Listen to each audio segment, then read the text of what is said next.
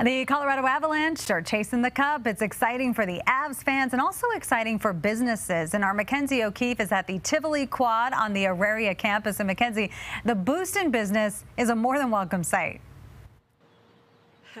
Absolutely. We know so many people were out here for game one. A lot of people expected to come to this watch party for game two tomorrow, as well as fill downtown Denver, especially those restaurants and those bars. So I got to talk to uh, one of the restaurants right here around the corner, Rhein Haus, uh, just really across the street from Ball Arena and uh, Tivoli here. And they are so excited and preparing for their own type of watch party as well. So they say they'll have a projector screen down. The bocce field will have lawn chairs and seating areas, food and drink specials. They have it all planned out.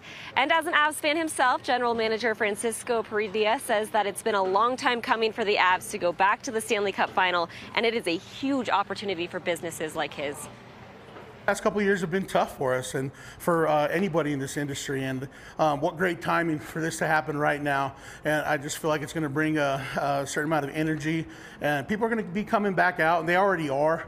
Uh, so this just builds on it and keeps us moving in the right direction. Pretty exciting. And of course, for no matter really where you're watching, whether it's here at Tivoli or a bar or restaurant downtown, their advice is to show up early. They expect it to be packed on Saturday, as well as plan ahead for a ride share. And really, they're just so excited to have everyone come back out here and celebrate and watch the Avalanche game as well. No kidding. We saw some food in that video. Someone making pretzels. That looked really good. Hot wings are my favorite game day food. What are what's yours? To be honest, I love all of the game day food. that is my weakness. Fair. But actually, pretzels, soft pretzels are my absolute favorite. So I had fun watching them make them. And I didn't get to taste them just yet, but I'll have to head down to try it.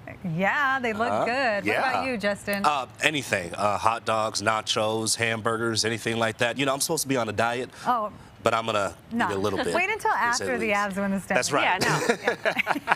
All right. It's a good excuse, right? Yeah, exactly. Right. We'll talk to you soon.